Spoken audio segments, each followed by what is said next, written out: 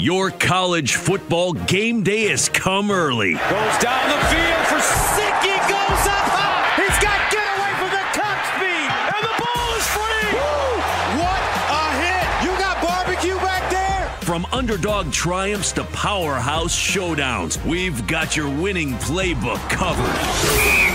It's BetQLU with Chris Mack, RJ Choppy, and John Martin, presented by BetMGM. And we're here, just like that. It's week 12 of the college football season. Welcome into BetQLU on the Audacy Sports YouTube channel. And of course, you can also get us inside your Audacy app, streaming live Fridays and even Saturday mornings. And of course, as a podcast, once it's all said and done, yeah, take us with you wherever you are in the world. Download that free Audacy app, A U D A C Y, and get us wherever you get your podcasts as well, alongside John Martin and RJ Choppy. I'm Chris Mack. An update on our best bets records throughout the season. Producer Zach has been hard at work. He used an abacus, one of those TI 82 graphing calculators, and all of his fingers and toes, including that extra sixth toe that nobody likes to. I'm sorry, Zach, I wasn't supposed to say anything. That extra sixth toe that nobody was supposed to talk about. He used all his appendages and he's counted up our records. We'll update you before the end of the show and get you our latest best bets. Also, some big games to talk about. Number one visits number 18. Number five visits number 11. Take a look at the latest Heisman odds. And number three is on the road as well. But let's start there with number three, gentlemen. the Michigan Wolverines will be without their head coach officially for the final two games of the regular season. About 24 hours before Michigan and the Big Ten were set to go into a courtroom together uh, to talk about this three game suspension of Jim Harbaugh. Michigan and Harbaugh have said, nah, we're good. We're just going to serve that suspension while the NCAA continues their investigation from the Big Ten's point of view. This is taken care of for the time being. Choppy, uh, this is not surprising. I don't think that Michigan saw some writing on the wall and said, hey, rather than continue to fight this thing, we're just going to back up and say we don't necessarily need our coach for a trip down to College Park and a home game against Ohio State anyway. We think we can win those games without him. And then by the time we get to that point, it'll be time for the Big Ten championship game and then the CFP. Uh, not surprising at all to me that they decided to go this route. No, not surprising to me either from the standpoint that kind of new, right? Like, and, and it's so late. By the way, it's so late in the process. Why would they give them, you know, a Friday appeal hearing, a Friday decision, and then a Friday appeal hearing? It doesn't make any sense. And the punishment is such a non-punishment anyway. He still gets to prep the team during the week. You know, like the the preparation is half the battle. I mean, your game script is, you know, largely your game script anyway. Uh, he he's not the, he's not is he? Correct me if I'm wrong. He ain't the primary play caller. He's not the primary defensive play caller. So what are they really missing? They're missing a dude in khakis on the sideline. Uh, like that's that's what they're missing, you know. So it's not. I don't think it's a huge deal uh, in the grand scheme of things. It's a massive slap on the wrist, and that's it. And they knew it, and there's no reason to fight it anymore. Yeah, they they did they handled things fine in Happy Valley. They they really put it on my boys, Penn State, John. Without Harbaugh on the sidelines, it wasn't a problem. And I kind of felt that way last week when we talked about it. That you know, given the fact that they spent the first three weeks of the season dealing with something similar anyway, that they already had the blueprint in place, and it seemed they already had the blueprint in place, and they'll finish the regular season under that same blueprint. Yeah, I mean, the, the, it really didn't matter who Michigan had on the sideline because Boo Boo the Fool was on the other one. So, I mean, that now maybe if he had gotten he's he's still trying two point conversions. He's, yeah, like he's practicing them uh, throughout the week. Um, it reminds me a little bit of um, I know it's a different sport, but four years ago when uh, James Wiseman, you know, is now I think in Detroit, number one player in the country, he had committed to Memphis, and uh, and I don't even remember like all the details in terms of the ineligibility, but they found him. There was like or uh, inducements, something that they called like recruiting inducements, because Penny Hardaway gave him money, his family money, back when Penny was at his high school coaching him, uh, money to move to Memphis from Nashville. And the NCAA ruled him ineligible. And initially, what they did was they got that that temporary restraining order. Um, and it actually, even though he had been ruled ineligible by the NCAA, he played in a game uh, you know, against Oregon. So it was like a bizarre thing. And then they dropped it. And they dropped it because they honestly thought and believed that if they did and took the fight and, and, and dropped the fight, that it would get them lenience from the NCAA. Um, and my guess is that sort of, um, this is pure speculation. My guess is that's what Michigan thinks right now as to why they're doing this. On top of, as RJ said, it's a pretty weak punishment altogether. Uh, and now that sort of, you know, a week has passed, you're able to go on the road and beat Penn State anyways, you're probably like, all right, the buzz is worn off. Let's just take what we what they're giving us now. They could say we cooperated and everything, and you know we'll avoid any real punishments down the line. So it makes sense to me. Um, we'll see if the NCAA ultimately does give them lenience, but I think that is definitely the logic. Yeah, we'll get into Michigan a little bit more when we preview, like I said, their game against Maryland. They're going down to College Park uh, for a noon kick on Saturday. It's Fox's big noon uh, this Saturday. And I, I, again, I, I didn't think in the first place it would affect them greatly. It clearly didn't affect them that much against Penn State as much because of some decisions made on the other sideline as decisions made on their own sideline, to John's point. Uh, but we'll get into Michigan specifically in just a couple of minutes when we preview these games. Let's talk Heisman Trophy race for just a few minutes as well, because RJ said something a few weeks ago. And Choppy, we're going to give you credit for something, damn it. You said something a few weeks ago.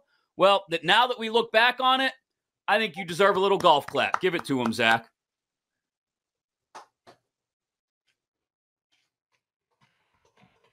What did Choppy say? Don't bet the game, bet that quarterback. Whoever you think is going to win Oregon against Washington, don't bet the game, bet that quarterback to win the Heisman. There you go. There's your bet. Oh, oh, okay. It's not often. Okay. It's not often that I hit on something, but uh, every once in a while, every once in a while, I'll get one. I'll get one. I think I got it. I think I got that one. That's the, that's the one. Now now uh, it's going to turn out to be wrong, right?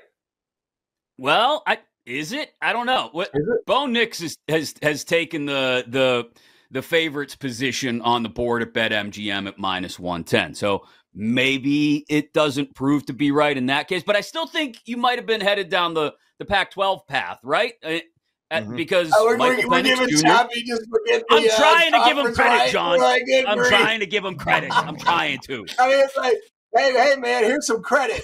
You were still wrong, but uh, here we're going to play it anyway. he had the conference right. He had the conference right. What John. are we doing, man? What are we doing? trying to, I was trying to make the guy feel good. I'm trying. Uh, I appreciate it, yeah. man. I, I, I appreciate that one. Uh, I'll take it. I'll take it. But you know, it's because it, it's it's between Bo and Penix, right? It's it's between those two. That's right. Um, Maybe between yeah. those two, and maybe Michael maybe. wins it. I I it have may not even be between. hey, I, have, I, like it though. We're clearly in the holiday spirit around here at BetQLU. Yeah, man. We're just like, yes. hey, you were within like a football field, maybe of being potentially right. Yeah, I mean, so, technically, he was within a football field of being yeah. right. So you want you want to get all high and mighty, Mister American Athletic Conference over there. I yeah. think our friend Choppy deserves a little credit. Mr. Well, Power Five elitism over wait, here. Wait, wait, wait. Power Five elitism. Mr. Yeah, Mr. Our, Mr. Mr. Our conference champ wouldn't even be going to the playoff if JMU hadn't lost an injunction earlier this week. But that's all right. That, that's okay. That's, uh, you're right. You're right. But let me make a case real quick for why it won't even be Bo Nix, or maybe why it shouldn't even be Bo Nix. Okay. Because Jayden Daniels is having the best individual season than any Heisman winner since 2012, besides Joe Burrow. I mean, if you just look up these numbers, and I saw this from, a, I think, a, a Barstool LSU account, and he's got more yards per game than You know, Caleb Williams last year, Bryce Young the year before, even Joe Burrow in 19. In fact, nobody since 2012 has thrown for more yards per game. Um, and if you just look at his efficiency ratings, uh, he's he's actually better than every other uh, uh, winner since 2012 as well by 0.1, uh, 0.1 better than Joe Burrow. And I know that people are going to hold the wins and losses against him. I understand that. That's part of it. But they're not losing games because of Jayden Daniels. They're losing games because right. that defense is abysmal. Defense. And so then I think you start to get into the question of how much does that matter uh, and should that matter? And that's look, the voters will decide that. And I think again, the market is, is, is telling you that it does value that. But should it? Isn't Jayden Daniels the most singularly talented individual in college football this year? For my money, he absolutely is. He looks like it to me. And here's my theory. And you rattled off some of the numbers third in passing yards in the country, uh, number two in yards per attempt, uh, number one in passing touchdowns. Plus, he's this close to going over a thousand yards rushing as well at eight yards per carry. Um, here's my theory. And as good as Penix is leading the nation in passing, as good as Bo Nix is, 10 touchdowns in the last two games, two on the ground, eight with his arm. Those two, I do think you talk about voting, John. We, we forget sometimes, like we could get what's his face from MSNBC up here drawing stuff on a map explaining precincts to us because voting matters with the Heisman. And there's a Pac 12 constituency that might split their vote right down the middle. And half of them may say, I like Bo Nix. And the other half may say, I like Michael Penix Jr. And at the end of the day, it may leave an opening for Jayden Daniels to garner enough first place votes that he does rise up the board there. And that's why I think there is still choppy some value on Jayden Daniels at four to one coming off a five touchdown performance and going up against Georgia State this weekend. So he's going to put up numbers again. I was going to put up numbers again. Uh, you know, th- th- that's the question though. Like, does does it matter what your team's record is? Does it matter where you are uh, in, in in the grand scheme of things? Does it matter if you don't have a chance at the national championship? Those are issues, right? Those are issues that every team is going to have to face. That every player is going to have to face. We've seen guys who weren't on the best team in the country win, but more often than not, this is not really uh, an award for the best player in the country. This is an award for the best player on the best team and Jayden Daniels isn't on the best team. Like right. there was a he had a chance, but he what, what what's his big win? That's gonna at the end of the day, it's gonna come down to it. Now, I guess yep. you could say what's Bo Nix's big win to date? Utah, right? Like, what's his big win? Uh, Michael Penix has got one. And this is this is what I mean about taking the two Pac-12 guys who both have excellent numbers and I think yep. are worthy of of going to New York. That's that's wonderful. Send them there. Let them be a part of the ceremony and all. But I think they're going to split those votes right down the middle. You're going to have a lot of people out west who say ah, Penix is the guy and Bo's close, or vice versa. And Jayden mm-hmm. Daniels mm-hmm. might sop up all those third place votes from out west and own everybody east of the Mississippi because not everybody's staying up to watch every Washington and Oregon game. And before you know it, that's how Jayden Daniels slides in. Because again, it's not like Jayden Daniels isn't worth it, and that's going to happen by accident, John. Like that's going to happen because yep. of you know the 202.1 quarterback rating that you talked about and the just the numbers the raw numbers of what he's done the other thing is it's this is just I, I mentioned the pac 12 stuff and splitting votes traditionally, like I said, people east of the Mississippi, they don't see what's going on out in the Pac 12 every single week. The last time you had back to back Heisman winners from the Pac 12 that didn't involve USC were never. So we had Caleb, right. Caleb last year. You know, yeah, you could you could say it still involves USC, but it's just it doesn't right. add up for me. There's too much. Really, yeah. Get Steve it, Kornacki out here. Break it down. Give me the precincts and, and I would say, like, typically you are right, RJ, that it is best player from the best team, but it, it isn't always. You know, like Lamar was right. not on the best team at Louisville. Kyler Murray was not there on the best team with Oklahoma. Um, you know, Caleb Williams was not, on, was not on the best team in the country in USC. Uh, so to me, if you're if you're telling me um, the numbers are what they are and they're better than the last, you know, 11 Heisman winners and LSU finishes you know, in the top 10, I think it would be a mistake. I think it would be a mistake to give it to anybody else besides uh, him. Now let's see how they finish. And look, Michael Penix could go on the road this weekend and he could beat Oregon State. I know we're going to get to that game. And the calculus could change. I think in the last two to three weeks of the season, they're still a lot of room for this to shift.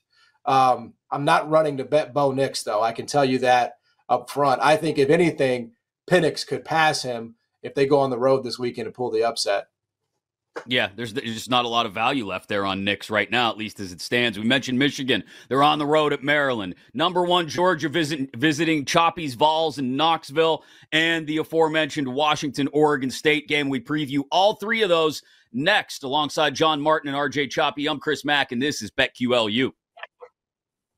You've been listening to BetQLU, presented by BetMGM. If you missed any of the show, listen back anytime on the new and improved Audacy app.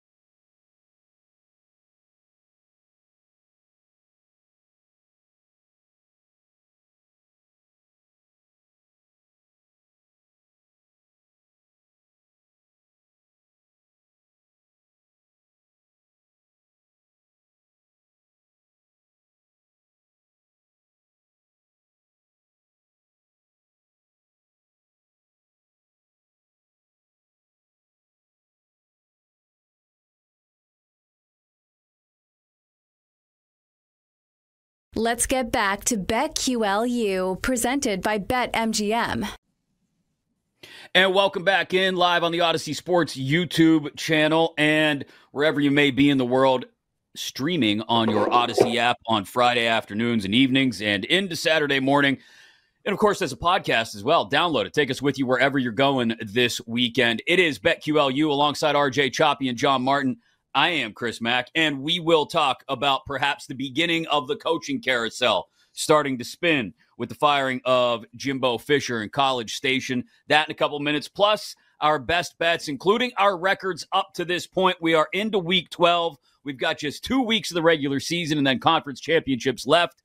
Who will go home? The king. Uh, will we tell Choppy that it's him anyway, regardless of what the records actually say? Stay tuned for another thrilling development here on BetQLU. But let's dive I think into that a was big one. negotiated by RJ. All right, when RJ, in- RJ it's in the for people that contract. Don't know. Yeah, RJ missed the first week, and he said, "I'm not doing this show again unless everybody on this show tells me I'm right, even when I'm wrong. If you do that, I'm back." And so we did And then boom, he was back. Yeah, you got. I, I don't check my email. That's why I wasn't on the first week show. I don't check my Uh, email. okay. All right, that's that's the difference. Uh-huh. You gotta text me. All right. you gotta text me. Uh, all right, let's start out west. It's the it's the primetime game on ABC Saturday night, 7:30 Eastern, 4:30 Pacific. Number 5 Washington Huskies undefeated going into Corvallis against the number 11 Beavers of Oregon State. Oregon State favored in this one by two and a half. That number has not moved, but the number on the total has continued to come down uh, all the way through 63 and a half down to 62 and a half. I've seen some 62s hanging around out there as well. Oregon State 6 and 4 against the spread this year, but in conference at home 3 and 0 against the spread. Uh, they win their last two. The Beavers are into the Pac 12 title game more than likely because they've got Washington and Oregon, the Civil War. The last time that may be played for a long time. Who knows? As Oregon State's got their own legal battle uh, alongside Washington State going against the rest of the Pac 12. Washington, we know how good their offense is. They're coming off 35 points and hanging 457 total yards against Utah, John. Both the most the Utes have given up this year. So, what do they have in store for Oregon State? How are the Huskies not favored in this one? Well, they they they opened as favorites. That's the interesting thing. Uh, they opened as a slight favorite, I think maybe two, and it's just been nothing but a torrential downpour of sharp money uh, since that opener, um, and I think for good reason. I, I think it's it's smart uh, because when you sort of really dig into the numbers here, a Oregon State's a program that is just so freaking good at home. I mean, they just historically are are dominant. And then secondly, they we talked about them before the season started, guys. I mean, we we identified Oregon State as one of those teams to watch for in the Pac-12 because of situations like this. I mean, Washington's coming in, and this defense in Washington is ranked 115th in red zone rushing touchdowns allowed. It's one of the worst in the country, and that's exactly guess what what Oregon State wants to do. And that's what I think they're going to be able to do. Now, look, maybe Michael Penix has a legacy game. Maybe he goes in here and has six touchdowns and, you know, he keeps RJ's prophecy alive. That's possible. Uh, outside of that, it feels like a game that Oregon State is going to be able to control at the line of scrimmage. I expect Michael Penix to be brilliant in spots because he just has been. I don't think that's a fluke, but I just think Oregon State's going to be able to do enough here on the ground and take advantage and exploit that Washington defense, keep it on the ground, punish them on the uh, between the tackles, and do enough to win this game at home. That's where I'm at. I'll say this: if you believe in Oregon State and and, and you want to find greater value on them as Pac-12 conference uh, champs, you won't because if they win this week, that number is going to come way down from the 16 to one that it's currently at. Washington at 180, Oregon at minus 190 right now. Arizona a deep long shot at 30 to 1, although they're still alive too to possibly make a backdoor entrance into the Pac 12 title game. Weird things happen at night in Corvallis, RJ. Corvallis, Ames, and uh, Columbia, South uh, South Carolina. That's where the weird things happen at night, and uh, Corvallis is absolutely one of those places. When I first saw this number that it had jumped to Oregon State minus two and a half, I was stunned until I realized, like, wait a second, you know what? that's a that's a tough place. Like that that is a brutal place to play. And Oregon State, their style of play, I think, is very very difficult in 2023 for some of these teams uh, to match up with. So I, I am. It's good. it's going to be really really hard for me to pick against Washington because I generally am a whoever the best quarterback on the field is. That's the guy I'm going with. Mm-hmm. Um, there are some situations in the college game where that doesn't happen. This might be one of them. Um, this I, I, keep going. I have like two games, my best bets. This is one of them, and I keep going back and forth on whether to have this thing in it or not. Yeah, this is a tough one for me as well. I, I don't know. Like you said, the better quarterback. I, have been on quarterbacks all year. That's been my philosophy the whole way through. I, I am stunned. Uh, no, I shouldn't say stunned or shocked that money has come in on Oregon State for all the reasons both you guys mentioned. I just I have a hard time seeing Washington not get out of there with the victory with everything they've built to this point on the line. I think they do pull it out, which obviously getting points uh, would work in my favor in this case. Let's move to the SEC. Uh, the afternoon game on CBS, 3:30 Eastern, 2:30 Central kick in Knoxville. Number 18 Vols absolutely embarrassed by Mizzou last week. Uh, they get number one Georgia, who still seems to be uh, looking to prove dummies like me wrong. Tennessee's lost to Florida and Bama already. Maybe they bounce back and show some life against Georgia. I just worry here, Choppy, that the Vols seven and three, kind of in that weird limbo where they're bowl eligible, but are they're not really playing for a New Year's Six game or an SEC championship berth anymore. They're just kind of meh there.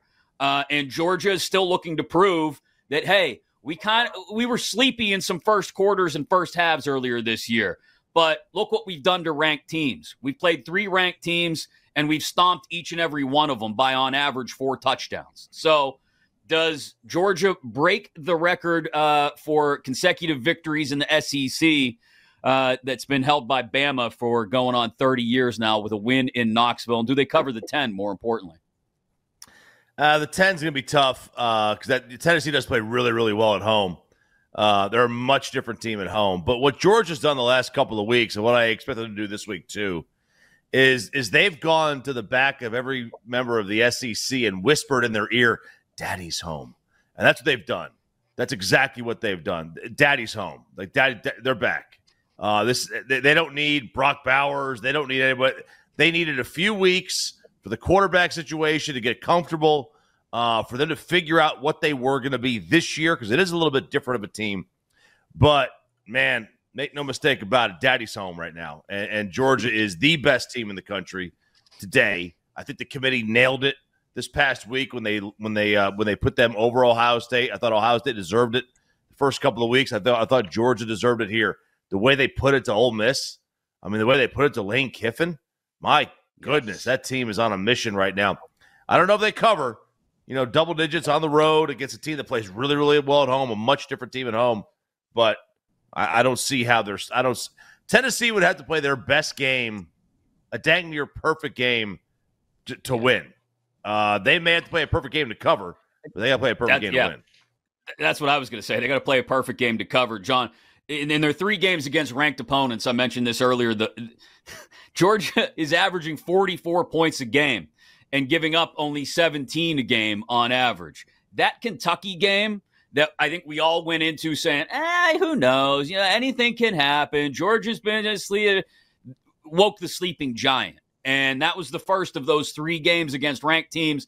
And now they got another one. They, they're they're look, they're going to Knoxville, so anything can happen. But I I expect Georgia to just pull, just drop the mic on everybody this weekend, and to RJ's point, prove why they're number one. Yeah, I mean, I think I know we get bored, right? We get bored with, um, you know, Georgia's doing this week in and week out, but that right. doesn't still mean it, you know, won't happen. Uh, uh, with the exception of the first year that Kirby Smart got the job, uh, this game has not fallen within 10 and a half. Uh, 2017 it was 41 to 0. 2018 was 38 to 12. 2019 was 43 14. 2020 44 21. 2021 41 17. Then last year 27 13 in Knox. I mean, once you just have that psychological uh, hold on a team, it's really hard to break. And I didn't really see a lot last week. And I was on Tennessee last week. I didn't see much in the way of being able to get out of that. I mean, they just kind of laid down against Missouri. I don't know what happened. Um, it, it, they just they couldn't get a single stop all game long. They moved the ball fine, right? But they just couldn't get any kind of stops. And if you're having a hard time against Missouri, feels like you're going to have a much hard time against Georgia. Yeah. So with the, with the combination of things that you guys have mentioned in terms of like what are you playing for now at this point? Like nothing. I mean, yeah, you're playing spoiler. I mean, is that really going to be something that you know brings the best out of Tennessee? I, I don't think so. And it's fine, by the way. Like I, I don't mean this is like some referendum on Tennessee football. Like Josh Heupel's doing a good job. I mean, last year was was incredible, and who knows how far they could have gone before the injury to to, to Hooker. But uh, you know, as far as this year goes, uh, I don't really think there's there's much left to accomplish. yeah, I'll I'm say this. I'll, I'll say this. Dolly Parton singing Rocky Top there. That's right. That is okay. Dolly. That is an Hang on. Dolly is singing Rocky Top. All right, and that that is enough. That that's worth six points. That's worth six points right there. Maybe wow. five and a half. Maybe okay. five and a half. But I think that's worth something. All right. Got it. All right. So the RJ yeah, metrics. Yep. 77 years young, Dolly, uh, back there singing Rocky Top in Knoxville. She's amazing. She's an amazing uh, woman. I love her so much. Crazy. It's crazy, man. It's absolutely a new album coming out. She's nuts. Anyway, uh, I'm giving away the fact that I, I, was working on a country music station before. Uh, Saturday Clearly. at noon. Clearly, I've been studying my country. Country Chris. Uh, Saturday at noon. I got Texas in my roots. I'm, I'm not going to tell you about it. Yeah, Michigan at Maryland without Harbaugh. Does it matter? No. Michigan is embodying Big Ten football right now, guys. They're laying 19, 19 and a half, total somewhere around 49 and a half or 50. Um, they're averaging 173 rushing yards a game, while also leading the Big Ten eh, with 39 points per game. They are absolutely bleep stomping opposing defenses. And how about this? Their defense, first in the Big Ten, only giving up 232 yards a game and 7.5 points per game. Outside of last week's nine point win over Penn State, they are averaging a 37.7 point margin of victory in the Big Ten in conference margins of victory of 24, 38, 42, 45, 49, 28. They're dominating. Michigan's lost four of their last, or excuse me, Maryland's lost four of their last five. They scored only 13 against Nebraska. Tagovailoa doesn't look like himself. The offense hasn't eclipsed the 400 yard mark in six weeks. They're on the backslide, and Michigan is just fine tuning some things as they get ready for the Big Ten championship for Ohio State, the Big Ten championship game, and then the playoff, John. Yeah, I mean, I, I think in terms of this, this one, uh, it, there is nothing for me. Um, I think like in terms of like I always look for um, you know w- w- angles. I mean, I guess like you know, I mean, you, you, you I guess you want to say you know it's not even the look ahead though to you know Ohio State. I mean, it's or, or it is, but it's like it's Maryland. So do I do I want to really get involved with Maryland, who's been just uh, dreadful all year long? the emotional sort of uh, us against the world thing is obviously gone with the you know uh, dropping of the of the TRO pursuit here. Um, I mean, like when it comes to these big spreads, Michigan has not covered. Uh, they did not cover that. Uh, I, I, don't remember exactly what it was against uh, Purdue. I think it might have been like 33, not nearly as big here. But because they don't pass, you know what I'm saying? Like if they yeah. get stopped ever on a third down, I mean, three is just such a killer, you know, with a point spread like this, right? And you look at that second half against Penn State, they they they threw the ball one time. It didn't go down as a statistical a statistical category because it was a pass interference, but they were completely content to just drain every second from this from that game. So that's how they play. I'm not really looking to back a 19 and a half point road favorite that plays like that. Yeah, they're just looking to get to Ohio State. It looks like choppy. Uh, yeah, and this could be one of those trap games, man. We've seen teams. Now, this is a night game. I think it's much different. You might have a much mm-hmm. different situation. Plus, Maryland has no home field advantage, none. Uh, right. This is not like uh, you you be going into Florida at night if you're you know Alabama waiting to get into the uh, you know, to the to the SEC championship game. That could be a real big trap. This isn't like that. This is Maryland. Uh, the best thing they have going for them is maybe they wear the uniforms with the funky state flag helmet. That's just really busy and really annoying. Other than that, I, they got. That's they, it. I, I don't see how they how this is a, a real big threat for Michigan. Um, you know the the Harbaugh thing. I think it's like kind of galvanized them a little bit. Maybe maybe it has, maybe it hasn't. But I you know I think there's a chance that this has kind of made them an us against the world mentality. You know, most people have to look for that. They have to manufacture those uh, bulletin board material items, and they've got to manufacture us against the world. Man, Michigan doesn't have to do that. You ain't America's team. I'll tell you that right now. All right, that ain't America's team. Uh, but whatever that nonsense was by Harbaugh, but I think it definitely has galvanized them. I, I would probably stay away. It's a lot of that's a lot of points to give up on the road. But yeah. if I was going to bet this game either way, it definitely would be Michigan than a 19 and a half. Yeah, if I had to, if you were if you were holding my feet to the fire, I would go with Michigan and lay the 19, 19 and a half. But to John's point, you know, it's the, the way they've squeezed the air out of football games in second halves. They may be up by so much that it doesn't matter in the second half at, at Maryland, but it's definitely yeah. something to keep an eye game. on. It, you know what? That's a, that's a pretty good call too. That it, it, you could put put it in as part of a teaser. Uh, they have been teased in College Station, under, right? If you bet the under, you're probably covered. I mean, yeah, Maryland's not going to score.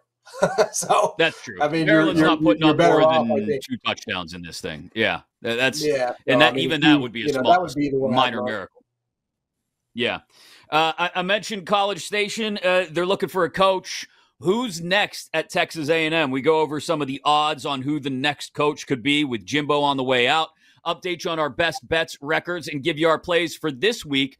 Week 12 of the college football season alongside RJ Choppy and John Martin. I'm Chris Mack, and this is BetQLU. You've been listening to BetQLU, presented by BetMGM. If you missed any of the show, listen back anytime on the new and improved Audacy app.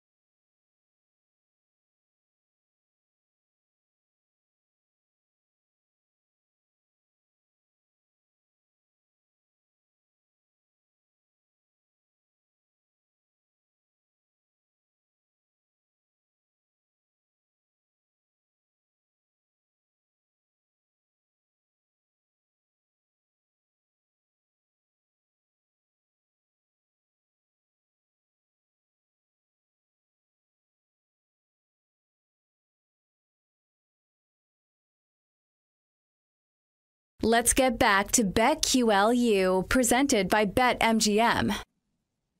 And we are back live on the Audacy Sports YouTube channel. And of course, inside your Audacy app, A U D A C Y.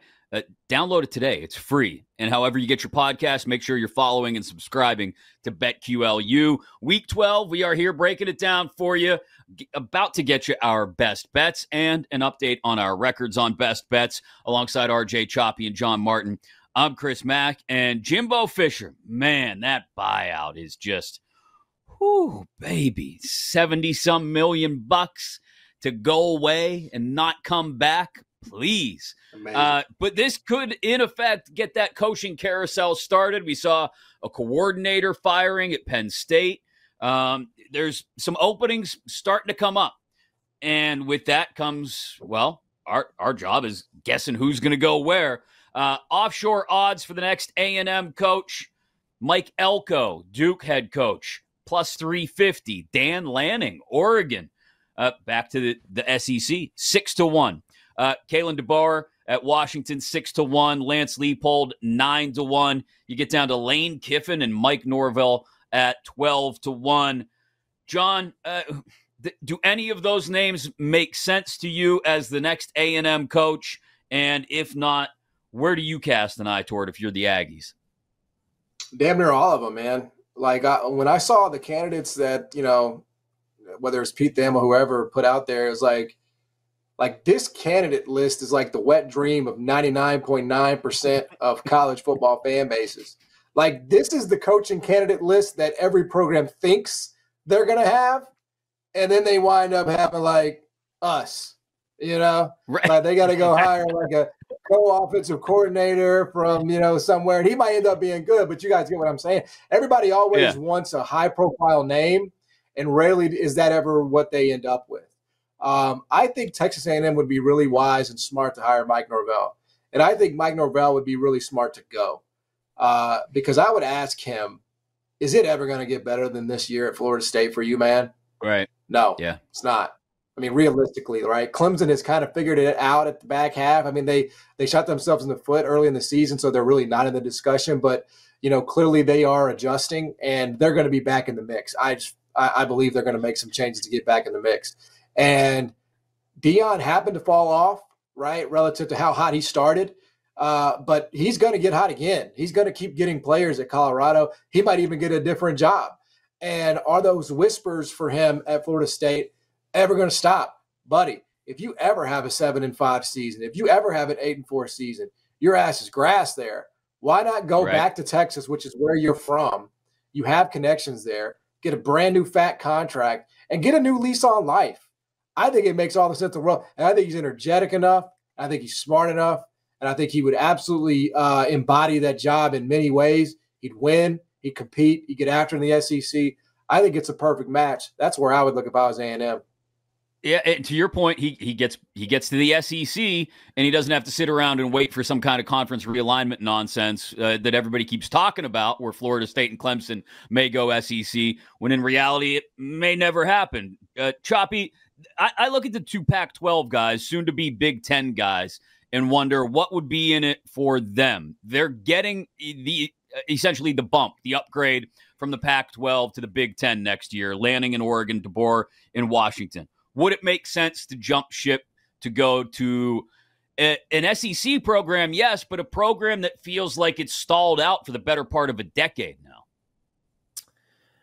So the reason to go to A&M versus Oregon is you never have to get on an airplane to get all the recruits you need.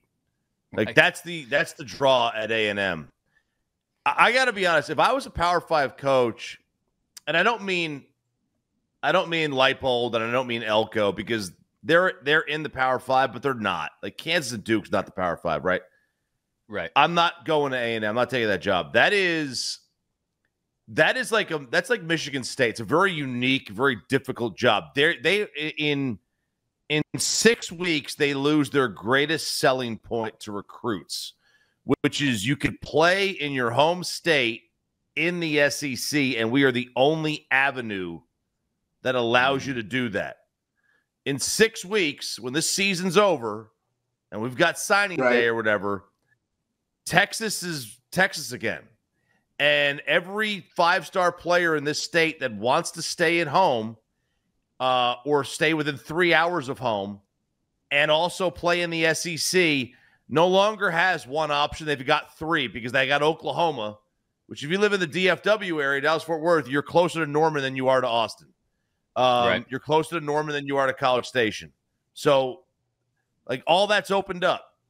If I'm Norvell, I'll be like, look, Deion, come here, man. Like, you know, wow, cool, Deion. You went from last place in the Pac 12 to last place in the Pac 12.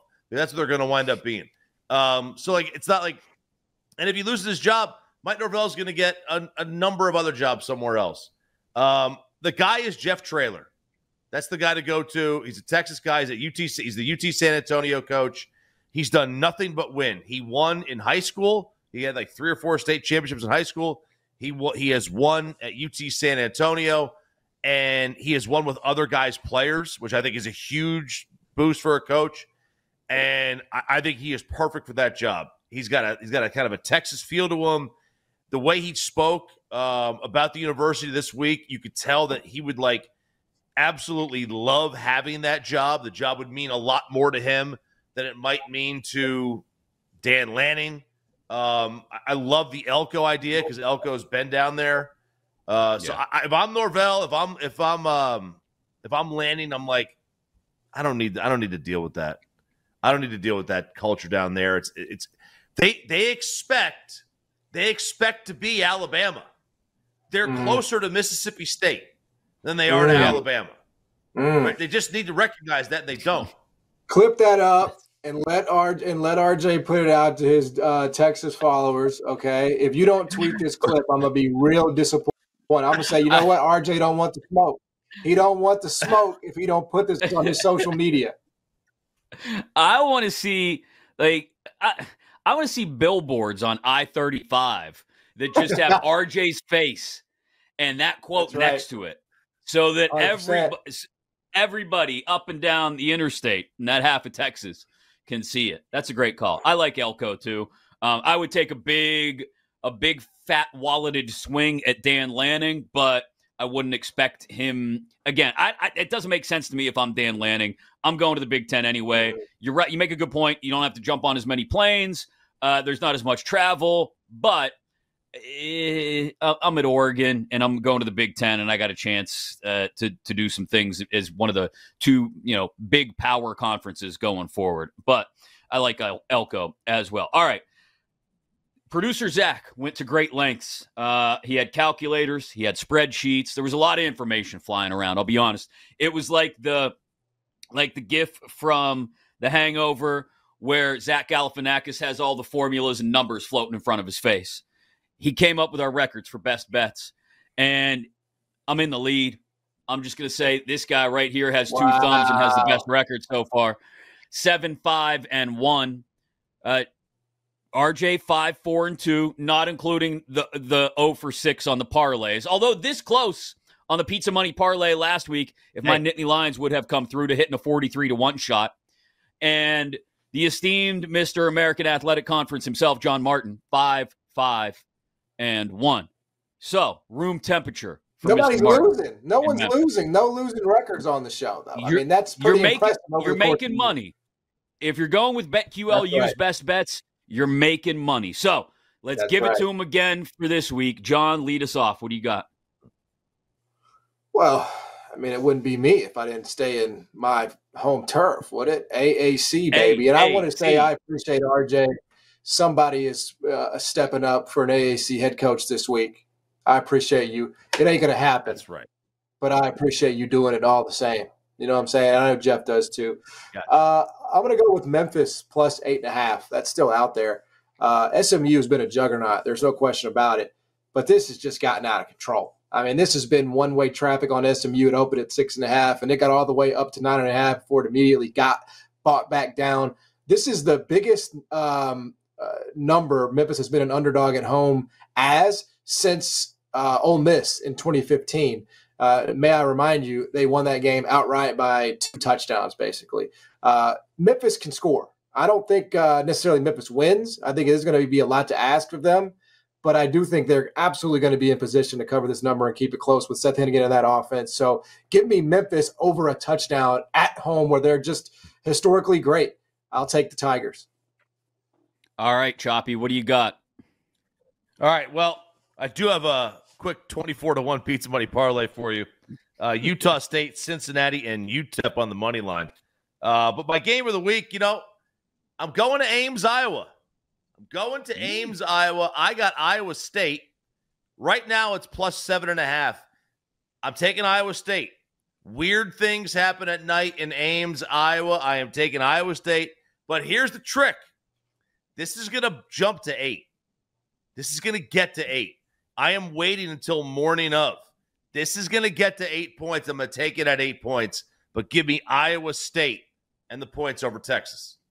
Crazy things happen in Ames, Iowa at night. You're absolutely right. All right. I'm going money line on a dog. I got a money line dog, a team that's going to secure its spot in the Mountain West Championship game with a huge win on the road. Mm-hmm. UNLV is going in to take care of business against Air Force.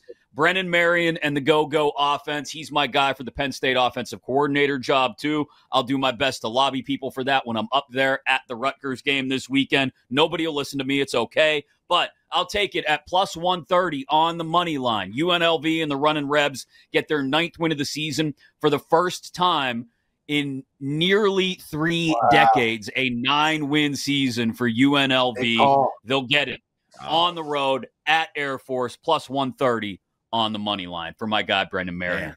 Gr- Greensburg saving. Kenny Mayne was the uh, quarterback uh, last time they won nine games. You're right. Oh my God. Oh Jeez. dear Lord. Uh, and, and, you know what? Even if you're wrong, RJ, we're going to tell you you're right I'm anyway, because that's what we do here on BetQLU. Way wrong. That's, that's what we do. Baby. No, you're right. You're right. It doesn't matter what Choppy says goes. It's always right. Alongside RJ Choppy and John Mart, we'll do it again next week. Make sure you're following or subscribed, however you get your podcast, including in that free Audacy app and watching every Thursday night on the Audacy Sports YouTube channel. This has been BetQLU. You've been listening to BetQLU, presented by BetMGM. If you missed any of the show, listen back anytime on the new and improved Audacy app.